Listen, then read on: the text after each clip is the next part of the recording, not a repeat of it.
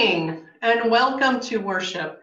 From my home to yours, I hope that today's worship is edifying and uplifting for everyone who's joining us today.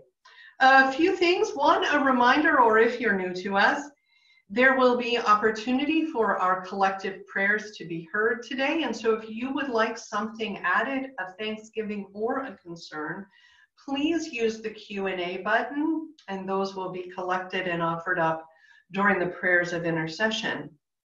Also, uh, immediately following the service and the prelude, we will be having a congregational meeting. I'll give a bit more instruction, but you will find the link to that at the end of the service on the final um, PowerPoint slide. And those of you who are calling in on the telephone, you need not um, hang up and redial. You can just stay on the line and you will be automatically joined to the meeting. A celebration this week with our food handout. 18 families were fed, and that's quite a number of people. So we give thanks for those who assembled the bags and handed them out and do the FoodLink orders. This week, we also received over 800 pounds of food from FoodLink to be given out. And so we are grateful for that resource that we can share. And now, as we gather for worship, we light a candle.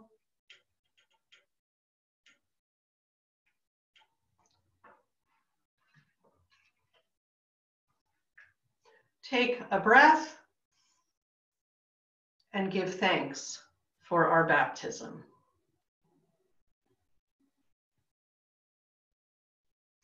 We are gathered in the name in which we are baptized, in the name of the Father, and of the Son, and of the Holy Spirit. Amen. Joined to Christ in the waters of baptism, we are clothed with God's mercy and forgiveness. Let us give thanks for the gift of baptism. We give you thanks, O God, for in the beginning your spirit moved over the waters, and by your word you created the world, calling forth life in which you took delight. Through the waters of the flood, you delivered Noah and his family. Through the sea, you led your people Israel from slavery to freedom. At the river, your son was baptized by John and anointed with the Holy Spirit. By water and your word, you claim us as daughters and sons, making us heirs of your promise and servants of all. We praise you for the gift of water that sustains life. And above all, we praise you for the gift of new life in Jesus Christ. Shower us with your spirit and renew our lives with your forgiveness, grace, and love. To you be given honor and praise through Jesus Christ our Lord, in the unity of the Holy Spirit, now and forever. Amen.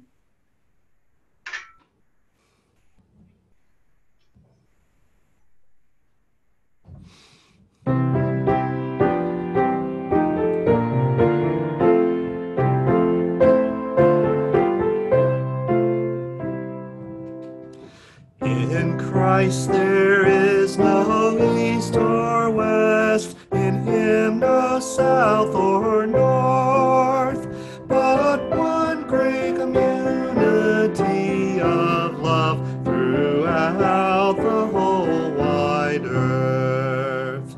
In Christ shall true hearts everywhere their high communion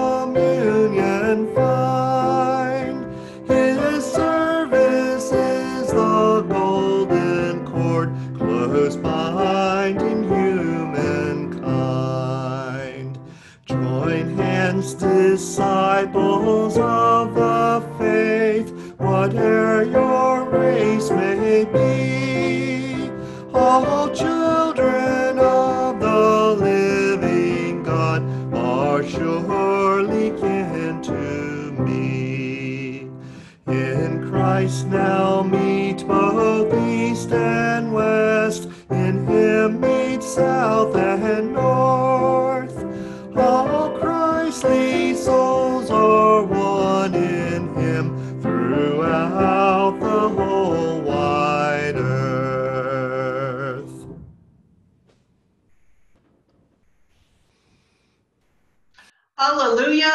Christ is risen. He is risen indeed. Alleluia. The grace of our Lord Jesus Christ, the love of God, and the communion of the Holy Spirit be with you all.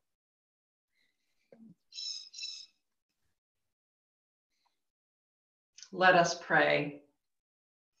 Loving Lord, your followers were faithful even in the face of strong opposition. Give us their courage and conviction to be worthy proclaimers of the gospel of grace. In Jesus' name, amen. So I'm going to invite you to take a minute and find the chat button, the green button, or the orange button on the bottom of your, of your screen, because we're going to talk about things we're thankful for see what's gonna what's gonna guide us um, in our time together today, kids, is some of the one of the letters in the Bible. The Apostle Paul went from town to town, and he would start churches or help people who were gathered to start churches, and then he would move on. And they didn't have email, and they didn't have Zoom.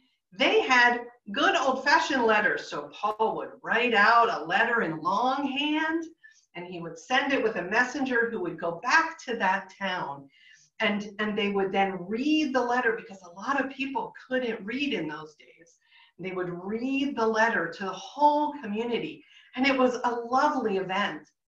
And one of the best things about all of these letters and these events of reading was how Paul starts off his letters. And he starts off with, I thank God for you. So while I'm talking, you feel free to type in there what you're thankful for. Because Paul would go on and he would talk about the work that the people were doing in these communities and how they were loving each other and how they were taking care of each other. He would lift that up and read that and since you can all see, and I'm not seeing much going on down there right now, folks, um, kids and adults are welcome to type in the things they're thankful for. There was a town called Thessalonica, and it's in Greece. And um, and Paul starts off, and actually his entire letter is written about Thanksgiving. He says to those people, I thank God for you. I thank God for you because because you're telling each other about Jesus. I thank God for you because you're taking care of the people in your community. I thank God for you because you're praying for each other. I thank God for you because you heard the message of how you're supposed to live now that you know Jesus. Being kind and caring for each other. And even on the days when you can't do it very well, well, I'm thankful that you have that knowledge in your head and in your hearts, and you are constantly being changed to be the people that God called you to be. The letter just goes on and on, kids. It's awesome. Paul is so thankful for them. And I am thankful for you. I gathered with some of the kids yesterday for confirmation and and they had a lot of things they were thankful for. And I was thankful to see them to meet their pets and to hear their answers and to learn their questions and to see how well they've learned technology so much better than me. I'm thankful that when we talked about the parts of worship, they could talk about their favorite parts. I'm thankful that you are all doing your schoolwork. I'm thankful that you have this opportunity. I'm thankful that you have wonderful families and a church community that loves you. I'm thankful for all of these things and so many, many more. Let's ask God to help us to remember how thankful we are every day. Hey, God, there's lots of things to be thankful for. The biggest is you, and second to it is each other. Help us, God, to keep remembering that you're in our lives, that you've sent us Jesus to walk with us, and that we are your people and you never stop loving us. Thank you, God. And all God's children said, Amen.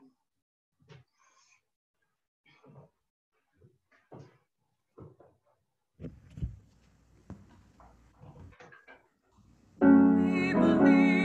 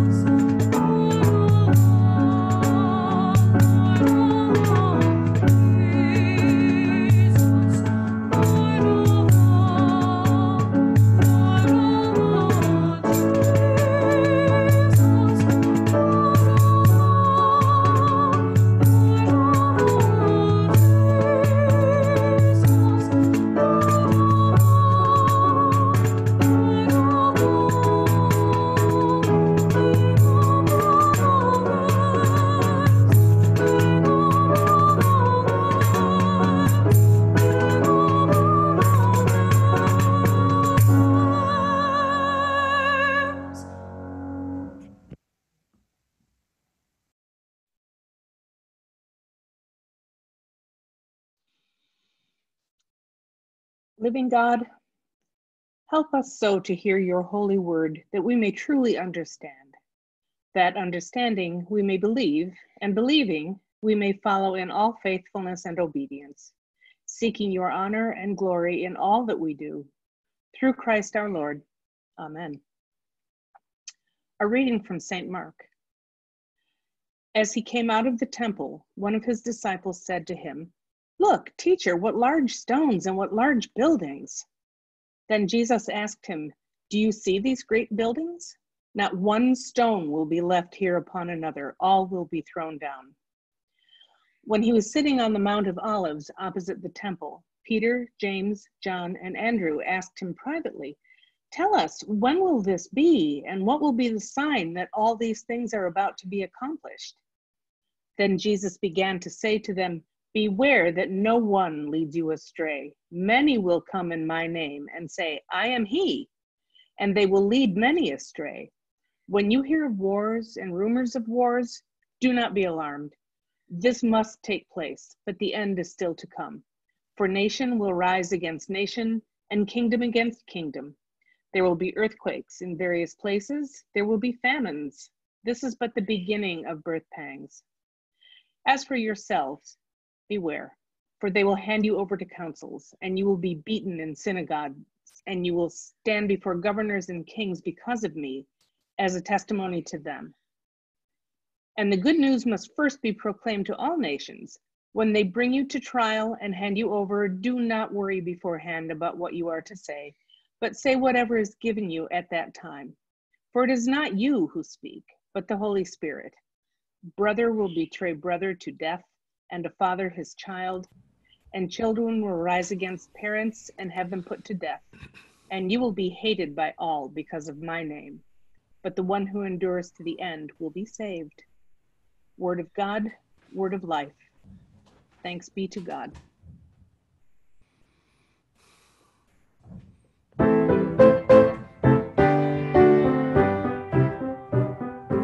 Halle, halle, halle.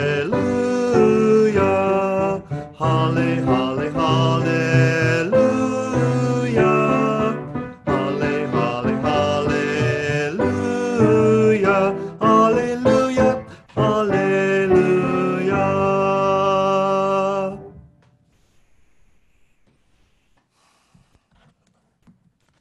A reading from First Thessalonians. To the church of the Thessalonians in God the Father and the Lord Jesus Christ, grace to you and peace. We always give thanks to God for all of you and mention you in our prayers, constantly remembering before God, our God and Father, your work of faith and labor of love and steadfastness of hope in our Lord Jesus Christ. For we know, brothers and sisters, beloved by God, that He has chosen you, because our message of the gospel came to you not in word only, but also in power and in the Holy Spirit and with full conviction. Just as you know what kind of persons we proved to be among you for your sake. And you became imitators of us and of the Lord. For in spite of persecution, you received the word with joy inspired by the Holy Spirit, so that you became an example to all the believers in Macedonia and in Achaia. For the word of the Lord has sounded forth from you, not only in Macedonia and Achaia, but in every place your faith in God has become known, so that we have no need to speak about it. For the people of those regions report about us what kind of welcome we had among you and how you turn to God from idols to serve a living and true God and to wait for his Son from heaven, whom he raised from the dead, Jesus, who rescues us from the wrath that is coming. Word of God, word of life. Thanks be to God.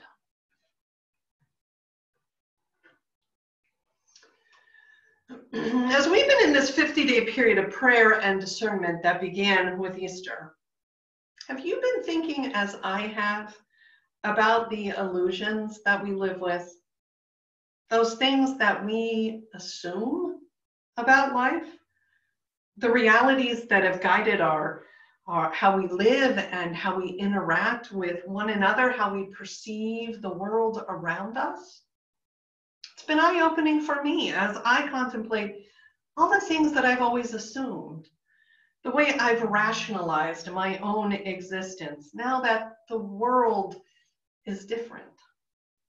You know, I uh, I hate to admit it, but I've always kind of worked under the belief that well, I'm pretty darn independent, that I can take care of myself, my family, my congregation. I single handedly could run my home and my own life. It's mine.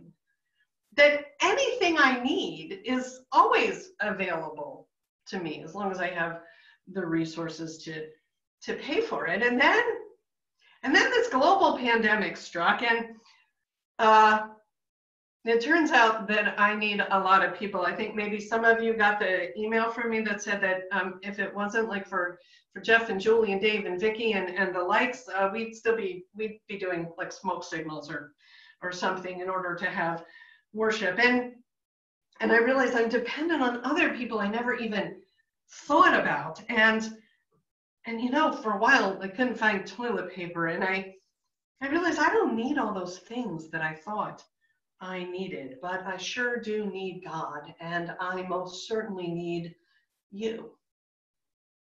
So this week, in light of the text that I just read, I've been pondering about that ancient city of Thessalonica.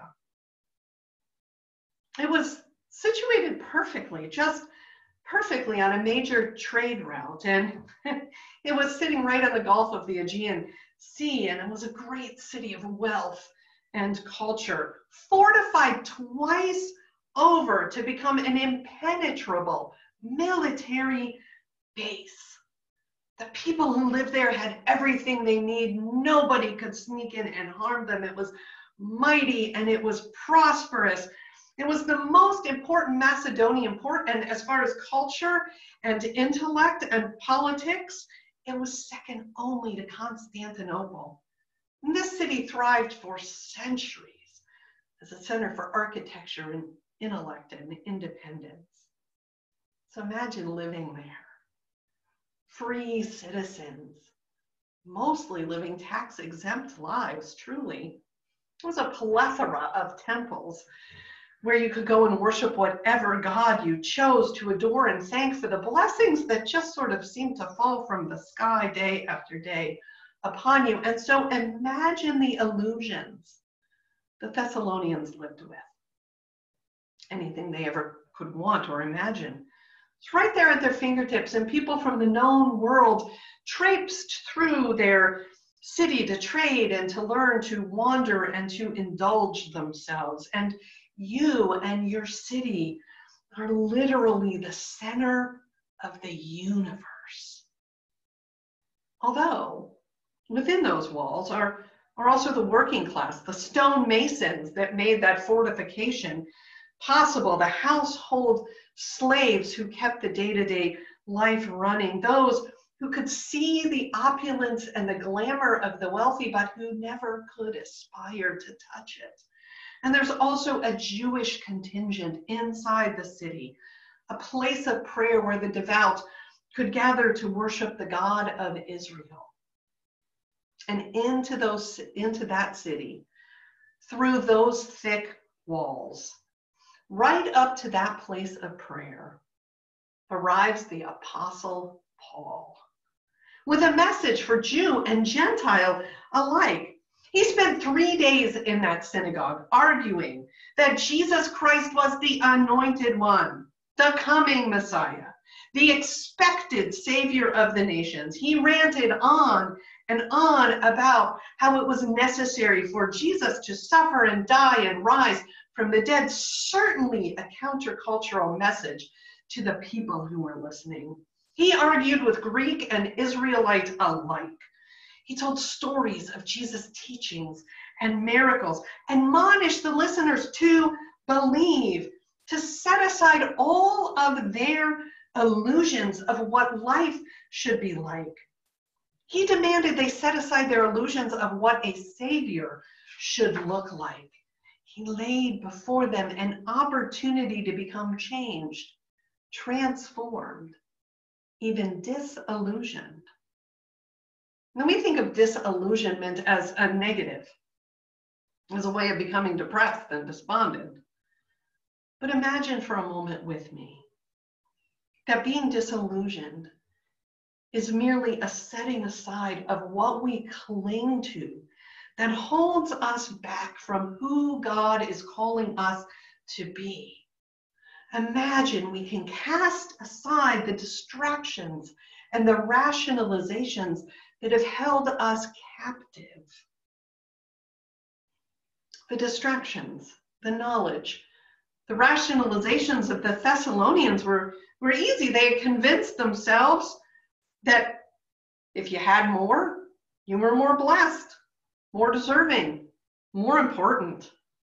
They convinced themselves that a hierarchy was the way to live, that the underclass were meant to serve the upper class, that there are people destined destined for wealth while others were destined to struggle and that it was really none of their concern to make a change they lived with the ideal that having more is better that doing more is better that bigger is better that they had control over their own destiny and by their own independent actions they could secure a safe and healthy and prosperous future. And into those assumed realities and illusions, Paul offers something crazy different a life around a Savior who lived dependent on the hospitality of others a Savior who was abused and beaten, suffered, and died for the sake of the world. Paul paints a picture of a kingdom where all people are welcomed and valued and loved, and a set of mores that values people over wealth. a reality where all are to be viewed as beloved. Throughout the letter to the Thessalonians, Paul calls them beloved over and over again, and he guides them on a path of sacrificial living for the sake of others. And suddenly, slaves, stonemasons, wealthy women are coming together to be part of a church, a people of prayer, a faithful community where all are equal in value. That's an amazing shift. It's huge. It's huge. What caused them to drop their illusions of social class and hierarchy? What caused them to set aside their privilege? What caused them to assume the mantle of love for others, to care for the neighbor, no matter who the neighbor was, and adopt an attitude of thanksgiving in all things?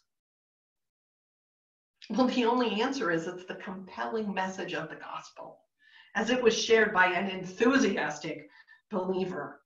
The compelling message of the gospel had transformed Paul from a persecutor of, of Christians to an exemplary missionary, and this is just one of the examples of his work.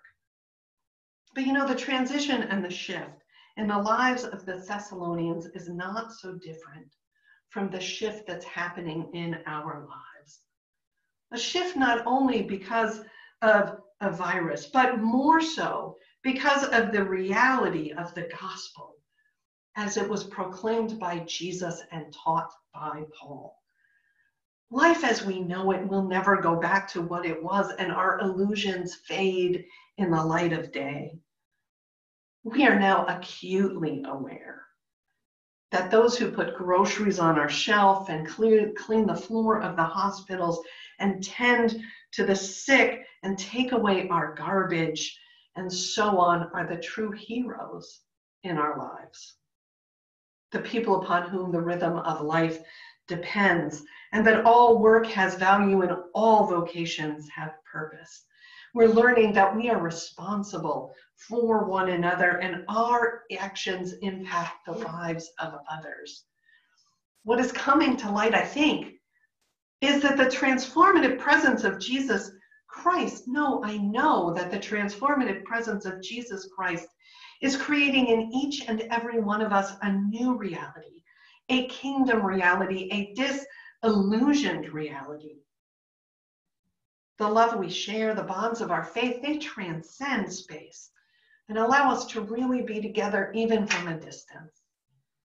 Being secure in the love of God for each of us is as important as doing and more important than busyness. Sacrificial living for one another is the key to our communal life in Christ. All of these things are bubbling up in these days of prayer and discernment as we ponder the transforming presence of Christ in Thessalonica and in our lives. And so, in the words of Paul, I give thanks to God for all of you, remembering before our God and Father your work of faith and labor and love and steadfastness of hope in our Lord Jesus Christ. Amen.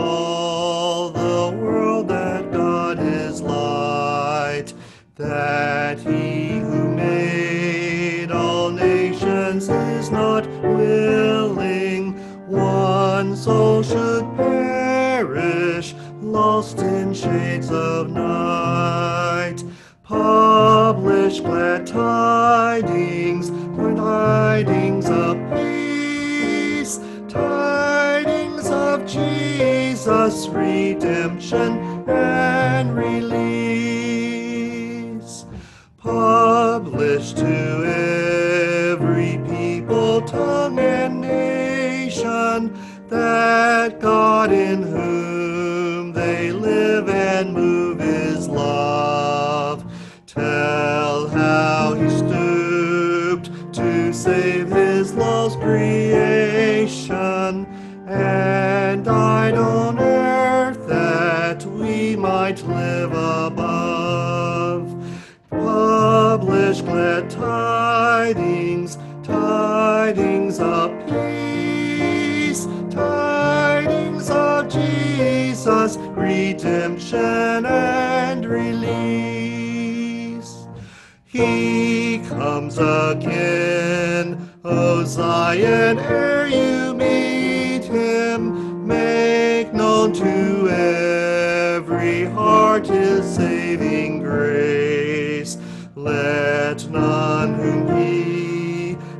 has ransomed fail to greet him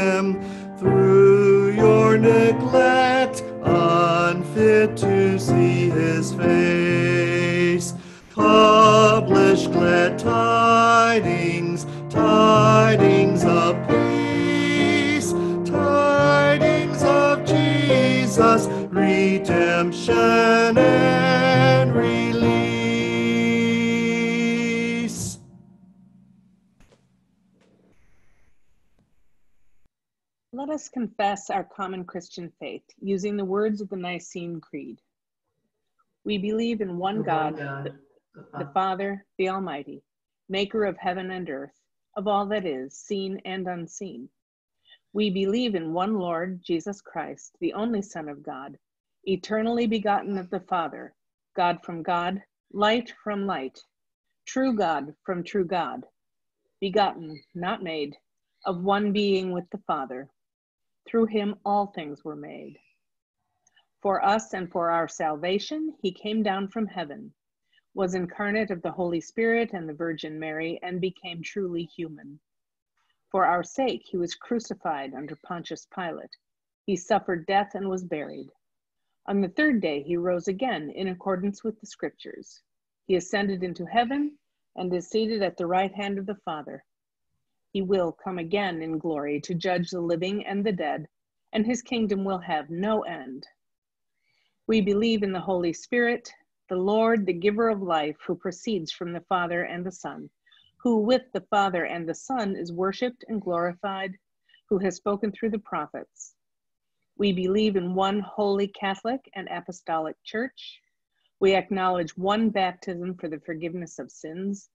We look for the resurrection of the dead and the life of the world to come. Amen. We pray for the church, the world, and all those in need.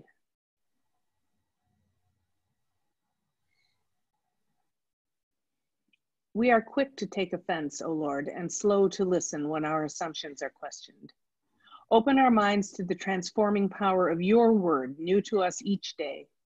Empowering God, hear our prayer. Your prayer.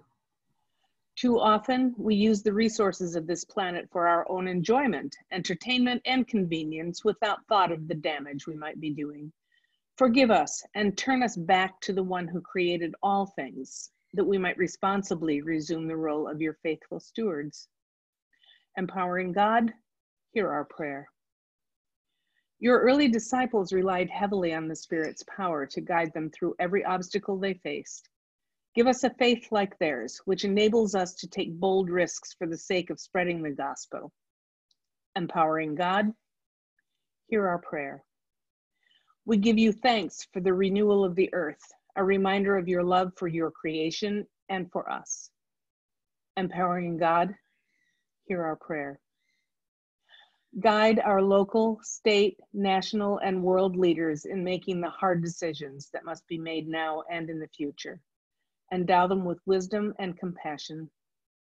Empowering God, hear our prayer. Grant the victims of the coronavirus healing, ease, and loving care as they suffer through and recover from their illness. Be with their families and console those who live now in anxiety and grief. Empowering God, hear our prayer. Support and comfort the medical personnel who are exposed every day to infection and stress as they stretch to provide critical care for those in need. Empowering God, hear our prayer. Give your tender care and healing to all those who need it this day, especially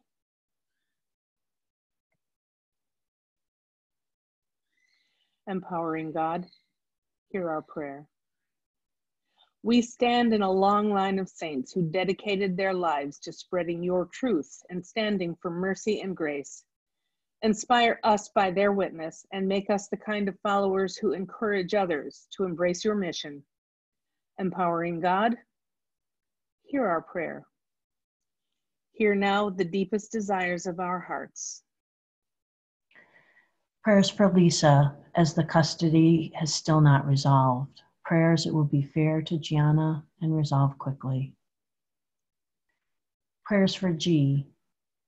Prayers for God to uplift him into his hands, giving him peace. Prayers for the family of my cousin Matt, who died suddenly. Empowering God, hear our Hear prayer. our prayer. We offer these prayers to your safekeeping and trust that you have heard us for the sake of our risen Savior, Jesus Christ. Amen. Gathered into one by the Holy Spirit, let us pray as Jesus taught us. Our Father, who art in heaven, hallowed be thy name. Thy kingdom come, thy will be done, on earth as it is in heaven. Give us this day our daily bread, and forgive us our trespasses, as we forgive those who trespass against us. And lead us not into temptation, but deliver us from evil. For thine is the kingdom, and the power, and the glory forever and ever. Amen.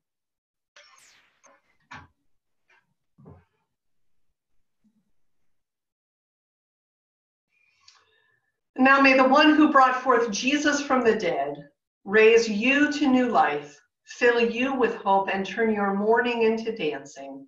Almighty God, Father, Son, and Holy Spirit bless you now and forever. Amen. And now, before we pass the peace, just a reminder uh, and some information about the meeting. Again, if you're on the phone, just hang on and you will automatically be joined into the meeting. If you are online, um, the meeting will not open until the postlude is concluded so that Jeff can close out one and open the other. So please be patient as he switches meetings and wait until the conclusion of the postlude to join the meeting. Um, once we finished our business, we will indeed have coffee hour and an opportunity to socialize. And now as Willie plays the postlude, the peace of Christ be with you always. Please share a sign of peace with one another using the chat window.